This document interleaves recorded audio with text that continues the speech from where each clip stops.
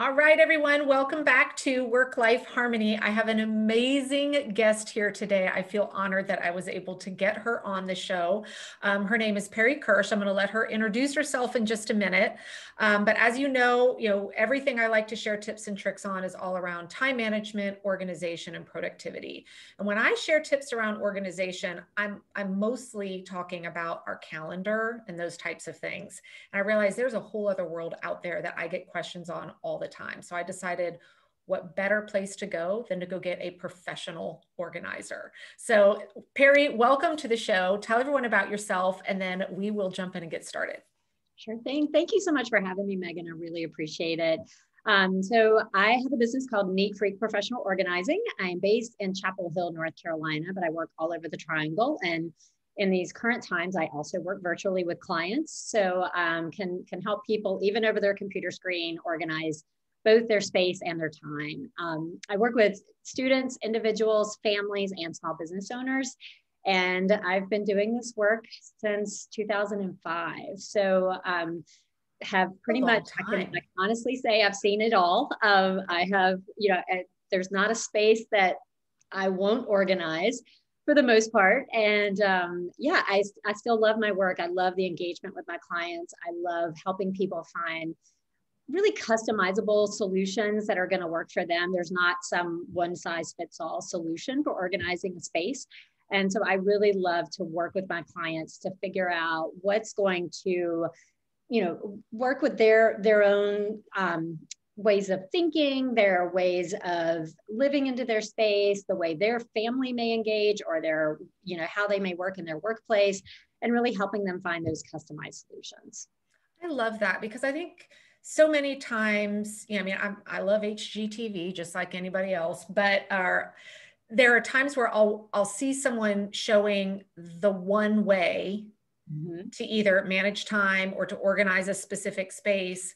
And I love that you recognize there isn't a one size fits all when it comes to that. There may be overarching systems and principles that apply, yeah. but helping people find a way, even when I just teach basic email management, I'm like, no, there's a lot of good ways, more than one. I'll share how I do it, but that isn't right for everybody because your brain works different, your lifestyle is different. So I love that you bring that that personalization in for people. So important. I think it's just really key to helping people build that sort of lasting organizational structure that's going to be maintainable for them.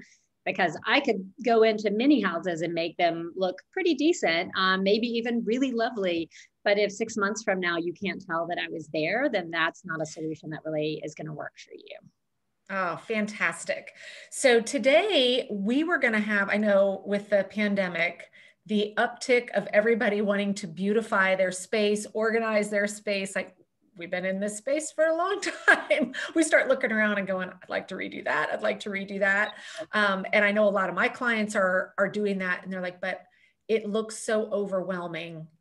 Where do I even start? So would love for you to share some tips on like, all right, I'm looking around my house where where is a great place for people to get started when they're looking at just wanting to get more organized more streamlined with their their stuff and their space? Sure. Well it's so interesting you know i feel like but the sort of the collision of both the pandemic but also it being the new year you know there's just mm, yeah. people have all these goals. I, I, said the other day to a client i was like i don't think there's ever been so much pressure on a year to be better because the bar was so low from last year. So people have really lofty goals for their New Year's resolutions this year. Um, so, and I think naturally organization always tops those lists for people. So, you know, it is probably the number one reason people call me is because they, you know, they say, I, you know, want to get organized this year. I want to figure this out. I want to have better systems in place so I can manage my time better or feel happier in my home but they feel completely overwhelmed. And what naturally happens when we feel overwhelmed is we'll procrastinate because we think that there's just one perfect way to do something.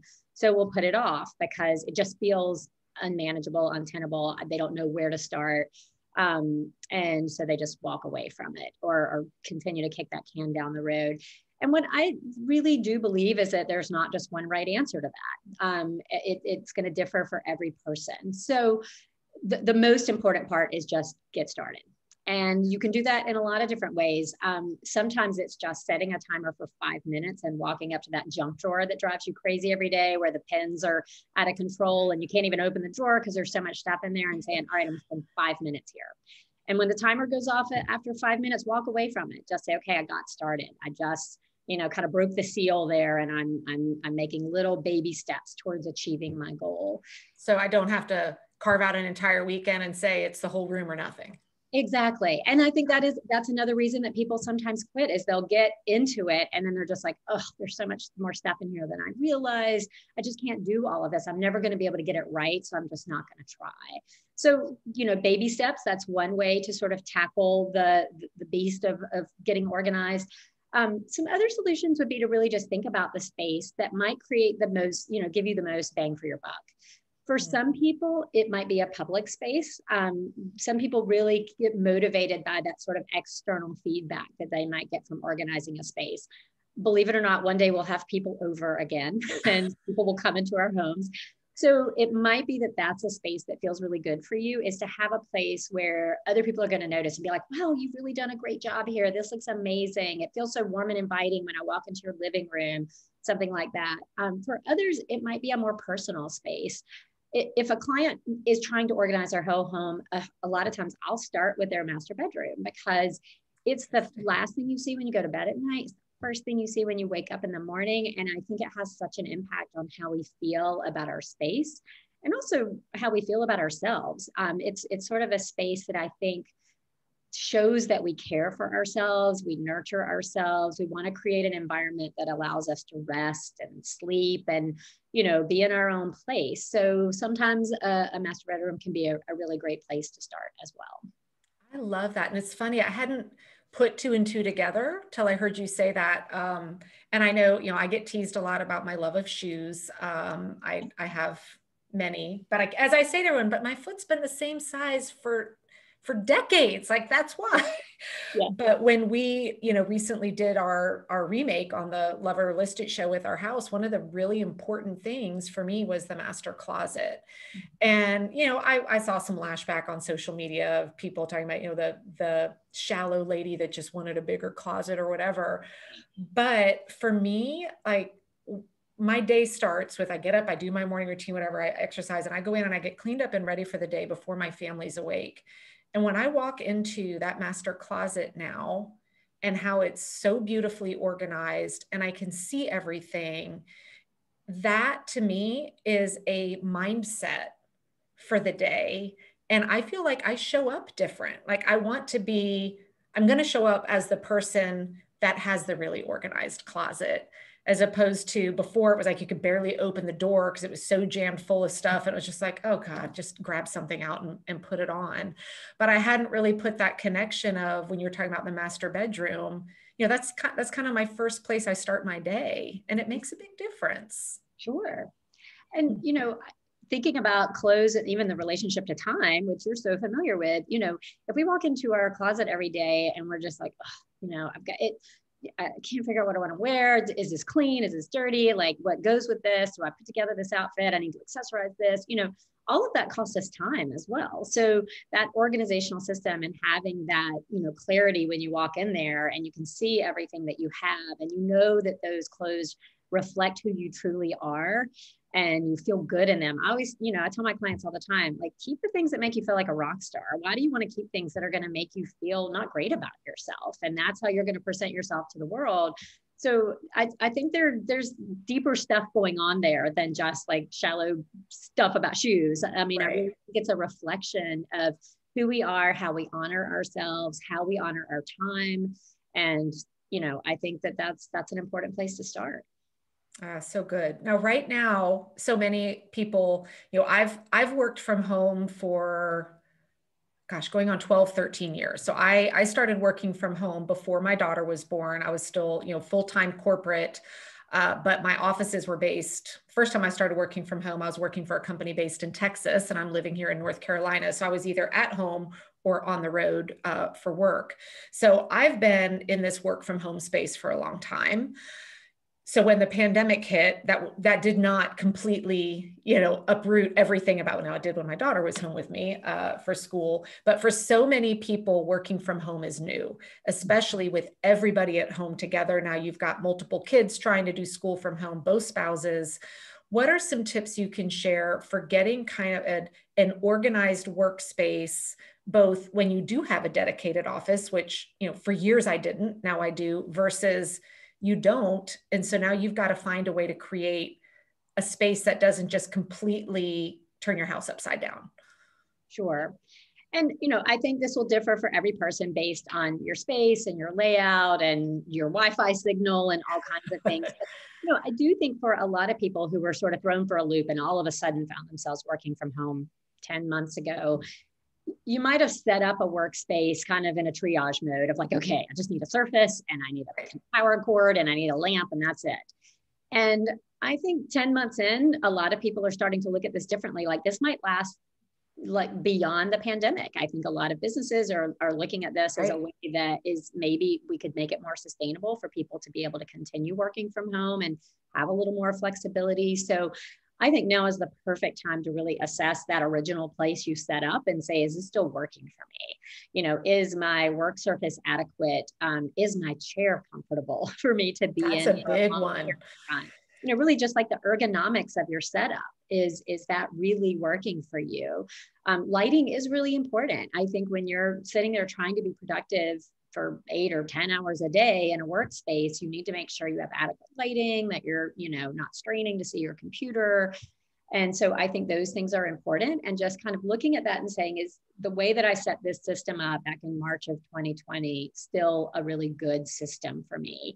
And then looking around your space and saying, are there other options that I might have? Or maybe just going out and treating yourself to a new chair would be all that all that you need to do at this point to make it ideal.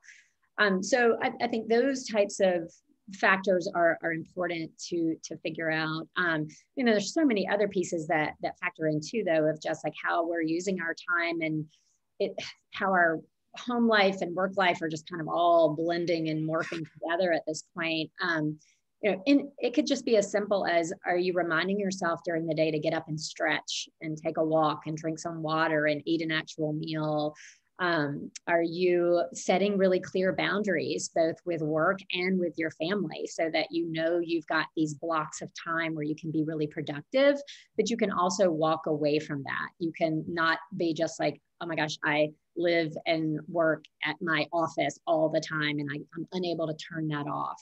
So, what are your strategies for being able to sort of walk away from that as well? I think is really important. But um, you know, organizationally, I think looking at again the structure the infrastructure of your workspace. Also thinking about things like paper management you know if you're still dealing with paper in your workplace what is your system for doing that? And at this point if you're kind of having to admit yes i might be doing this for another six months or another year and it, you, you've just got stacks of paper all over the place that's probably not a sustainable organizational system. Um, some of that is coming to grips with whether you're a piler or a filer um, and and it's a great differentiator right there. It really is, and so and embracing that, like there's not a right or a wrong way to do it, mm-hmm. but if you're the kind of person who needs to see paper in order to you know trigger your memory that you've got to take care of something thinking about organizational systems that are going to still allow that to happen without it just becoming this giant stack on your desk where you, you've got to waste time going through it to find what's really important there um, you know, I love little just individual paper file boxes so you can sort and categorize things by project and label it so that you know, like, okay, now I'm working on this contract. I pull this box out. That's all my documentation that's related to that. I can go through that, see who signed what, you know, that type of thing. Um, but for other people, it might be just, I, I really need to go ahead and invest in a filing cabinet. Like I need some kind of drawer system to allow me to start filing paper that I might be managing for work. And I even though that you say that because I think there's a push in today's world, like if you're not all electronic, there's something wrong with you. Sure. And you know, I know sometimes, and I come from a tech background, so I love technology, but there are some things I need to have paper for. Sure. And I, I try and get rid of clutter and I'm getting more comfortable at doing some things electronic. But whenever I will share you know, I'll go out and share a picture of something that I'm using to help organize paper, I get backlash from a lot of people of like, well, you sh- that should be electronic. And I'm thinking, but if that's what works for me, and I love that you're telling people you might need to go get a file cabinet. There's nothing wrong with that if that's how hmm. you stay organized and that's that's a system that works for you. And i use a combination of both. I, I do some hmm. paper and i do some electronic yeah and i think you know i know for me if i'm editing something i have to do that on like i'm hey, an editor on paper and so i still print things not not a lot but like that's just how i think and i interact with information so i think again yeah it's just embracing your own need to work in that way and um, and being okay with that no shame Yeah. And I think uh, someone shared this tip with me the other day. I thought it was really great. Um, we were talking about, you know, trying to figure out what you want in a good workspace. And I think right now you, you bring an excellent point.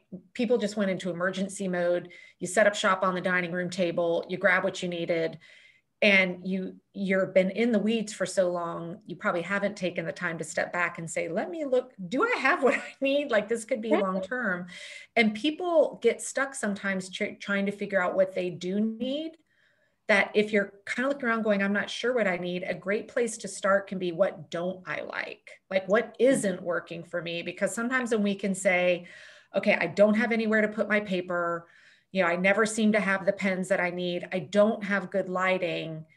By making that list, that can help you discover then on the opposite side, here is what I do need. So if you're struggling with that, I think sometimes figuring out what isn't working for you can help you define what you might be looking for in terms of a new setup and situation as well. Exactly. I mean, I would just say keep like for a week, have a piece of paper next to you, and every time something frustrates you in your workspace, jot it down and say, "Gosh, I, I you know, my kids to- stole all my favorite pens again," you know, or I, I, I can't, I can't find a sticky note when I need to jot something down, or you know, just kind of keep up with those little things that frustrate you throughout the week, and then say, "All right, I can solve this problem." So, um, I, I think just at this point doing a full assessment of your workspace is, is really important, particularly if you know you're going to be in this through summer or into the fall, um, and and recognize that you need to take care of yourself and and treat yourself in this office space so you can maximize your productivity. Are there any tools that you recommend? I know I have some I like, but everybody's different. So I know you you are going to know about tools a lot more than I do.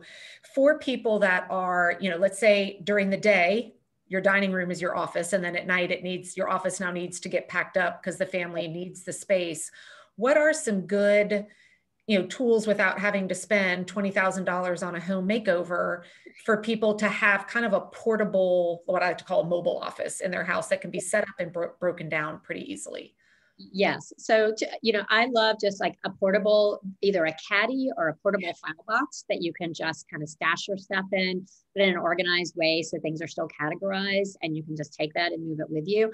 I also love a three tiered rolling cart.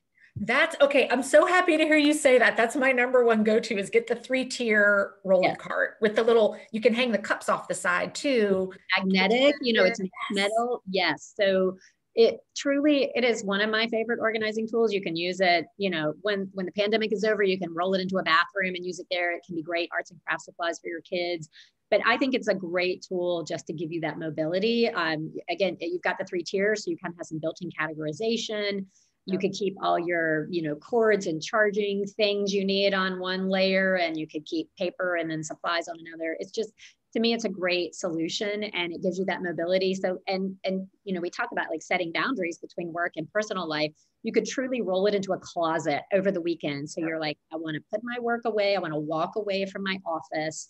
And now i'm having my family time. I'm having my my time to myself and then you can wheel it back out on a monday so to me it, anything on wheels is a great solution i love that and i mean I'm, I'm always looking for new ones i mean you can you can pop on amazon I've seen them as low as $20 now. And, you know, the fancy, fancy ones are upwards of 50. So sure. it's not like you're going to break the bank to go get, and then even like you said, the pandemic's over, you're going to be able to repurpose that thing. You're yes. probably going to want to get more exactly. for different places exactly. Yes. It's cheaper than adding onto your house. That's yes.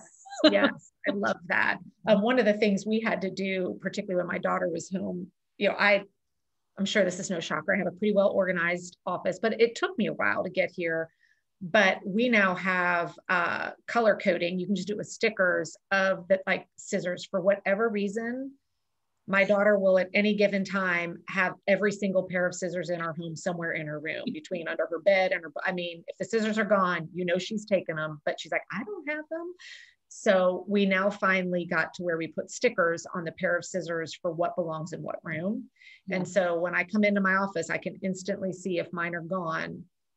Now no one can pretend that you know i didn't everybody owns their own pair but exactly. even just the small investment of get duplicates of the things like that and label them.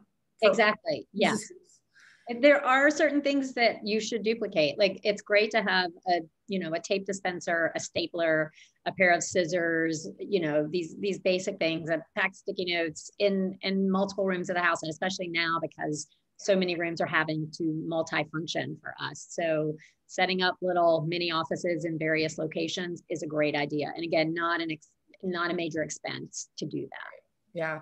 So for people that, and this was, so the old me, I wish, I keep saying I'm going to bring my mom on the show. I need to bring my mom on the show. So I was a hoarder like as a, as a younger child. Um, I didn't want to get rid of anything, which now is funny because now I'm the one that's constantly trying to get rid of stuff in our house. And my husband and daughter are kind of the hoarders. So for people that are on board with, okay, I've just created, you know, I've organized the junk drawer. Let's say even you're just starting with that. Mm-hmm. I know everybody gets rid of, yeah, I do that. But then three weeks later, it's a complete mess again.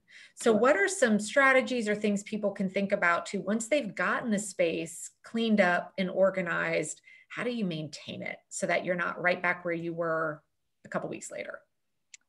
Yeah, a couple of great strategies for that. You know, I think first of all, because we're all sharing our space with multiple people at this point, um, and it would be great if we could just put like saran wrap over it and just keep it exactly that way. But people touch it, you know, is to have a conversation with everybody and just sort of say, you know, I want us to have more time to have fun together. And in order for us to do that, some of these systems, it, it's helpful if they stay in place. You know, things things remain somewhat organized and, and just kind of get everybody on board with that. Labeling can be a really helpful way to, to maintain that. If you've got kids old enough that they can read, they can see that the label, you know, if they're helping to unpack the groceries, this is where things belong in the pantry. Or if you put things back in the drawer, this is where things belong. So making that really clear and communicating that to everybody as part of the same team can be really important. You know, I really stress for my clients that if you want to maintain organization going forward, you need to create a one in, one out policy. So before you bring something into your home, you need to get rid of something else first. So that can apply to shoes.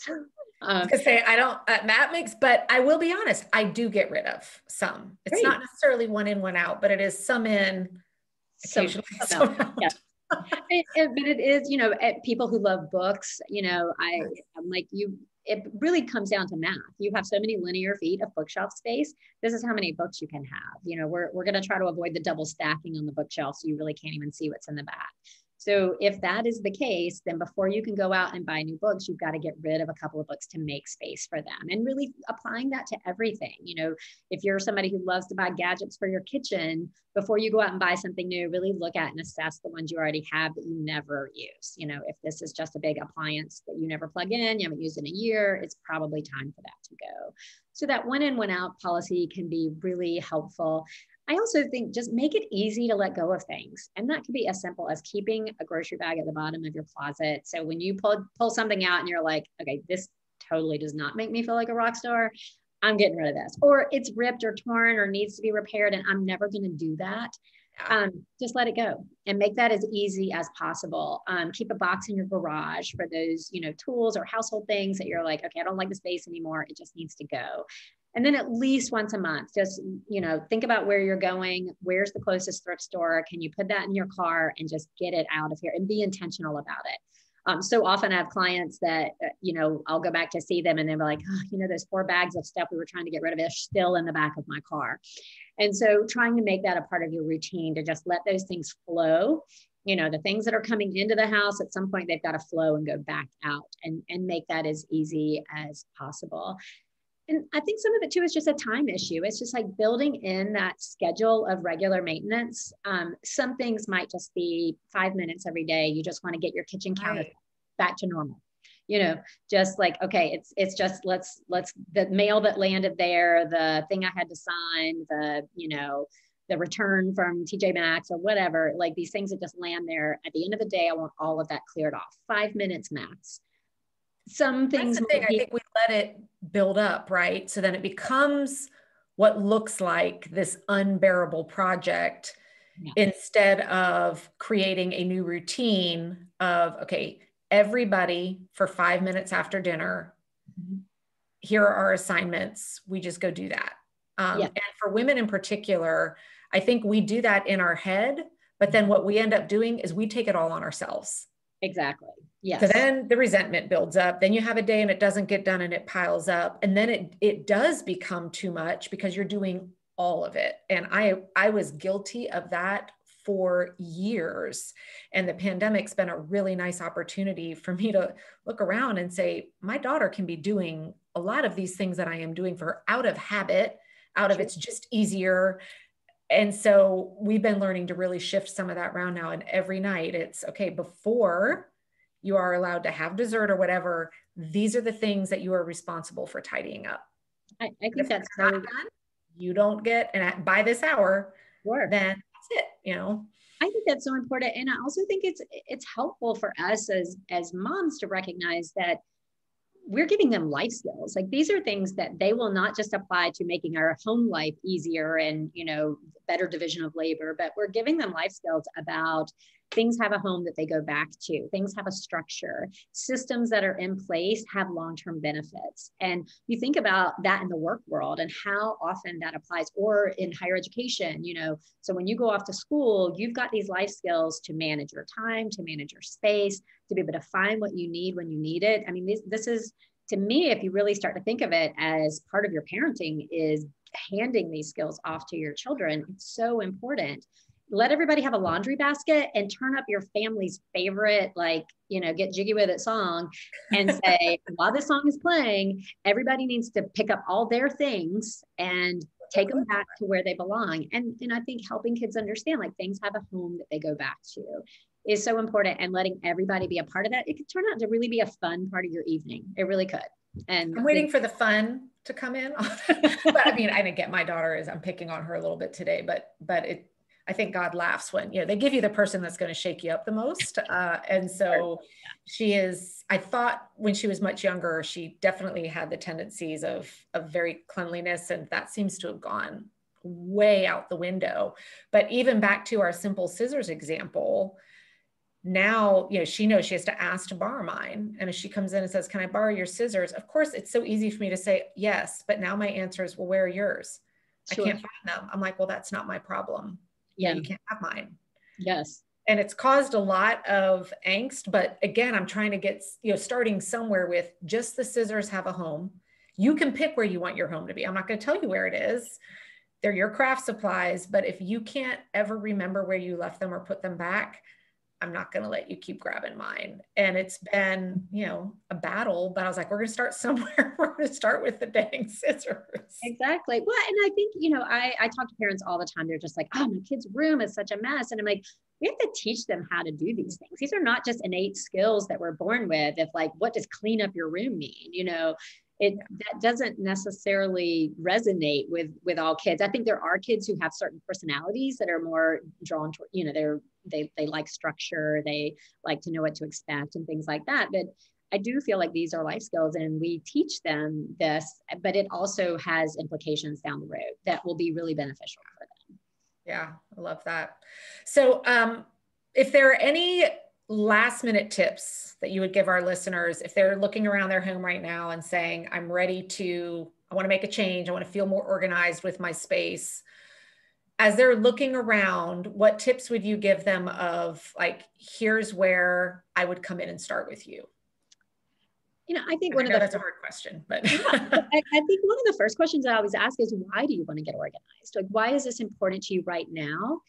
and setting a really clear intention about that just, you know just like any other big life change that you want to make it's like why do you want to do this because if you don't have that internal motivation of what the payoff is going to be for yourself it can be really hard to get started and and to stick with it. So i think setting that clear intention um, writing it down someplace if you journal putting it on a sticky note and sticking it on your bathroom mirror you know i want to get and stay organized. So i have more time on the weekends to relax with my family or you know i want to get and stay organized because I want to be able to have friends over spontaneously and not have to spend all day stressing about how my home looks. You know, what are our what, what's our intention and what's our motivation for doing this and making that really clear. And then I talk to my clients all the time about having an organizing mantra. Like something that they say to themselves when they feel like they're hitting a roadblock or they're just stuck and they're just like, oh, I don't want to do this right now it kind of circles back to that intention. Um, one of my very favorite clients was a, a, retired psychiatrist who was downsizing from about 4,800 square feet into 1,200 square feet. Oh so, my goodness, that's yeah. And so I, you know, I said this is this is math. For every four things you pick up, three have to go essentially. And he had this little mantra that he always said that was, you know, I'm living in the present, I'm not living in the past. And he said it to himself over and over again as he was making these decisions about what he was going to keep and what he was going to let go of. And I do think for so many of us, it's sort of defining who are we right now and how does our stuff reflect that? You know, what are we doing in our lives right now that has meaning to us, that gives us purpose, that's really important? How do we feel about ourselves? And letting the things around us reflect that, not letting it be a whole bunch of stuff from our past that isn't who we are right now. You know, maybe we had an old hobby that we loved, but we don't do that anymore. And that might feel painful, but it's not who we are in the present. And that's okay to let those things go and to live in the moment that we're in right now. And so for me, like having that little mantra that you say to yourself, is a great way of keeping you focused, keeping you motivated, helping you remember that intention and letting that sort of carry you through this year. So if that goal is to get more organized, getting really, really specific with yourself about what it's about and letting that be your driving force. Oh, that's so good. And you already, there's some things I know I'm holding on to. And as soon as you said that, I was like, I think I was holding on to it thinking, well, maybe in another 10 years, I'll get back to that well then i can deal with that in 10 years. Like this is taking up so much space. Sure. let it go. Just let it go. Yes. Um, that's a really good tip. Love it. So Perri where can everybody connect with you? Because i love the fact that you're you're providing organizing services virtually. So it doesn't have to be that you live in the greater you know raleigh north carolina area to get help from a professional organizer here. So where can people uh, connect with you and learn all about everything that you do?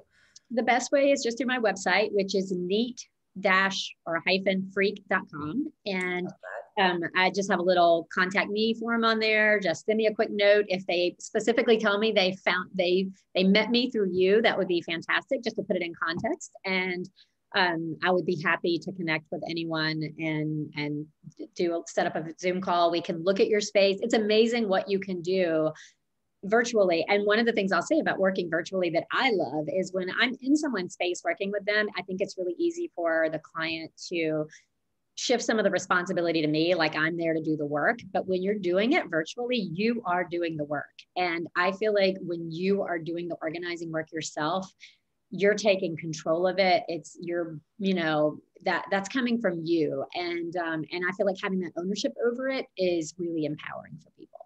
Oh, that's awesome. And I'll put a link um, in the show notes for those of you listening where you can go um, connect with Perri as well. Uh, thank you so much for giving us your time here today. You've got me inspired to go uh, tackle a few areas in my home that I know have been on my to-do list. That again, I just love that timer. I can just start small. I don't have to create a whole weekend to go make that happen. So thank you so much. It's been such a pleasure. All right. Thank you so much.